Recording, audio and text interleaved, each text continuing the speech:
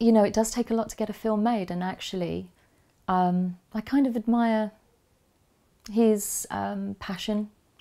Um, it was quite gung ho, and it is really difficult to get a film made, and perhaps you know that's that's what it takes sometimes. You, you, you think that the gung ho, uh, let's just go out there and get the film made thing can actually have a positive thing, can, can work? It, I think it does work. I think I think some directors have to have some kind of sociopathic tendency, and I've worked with a few.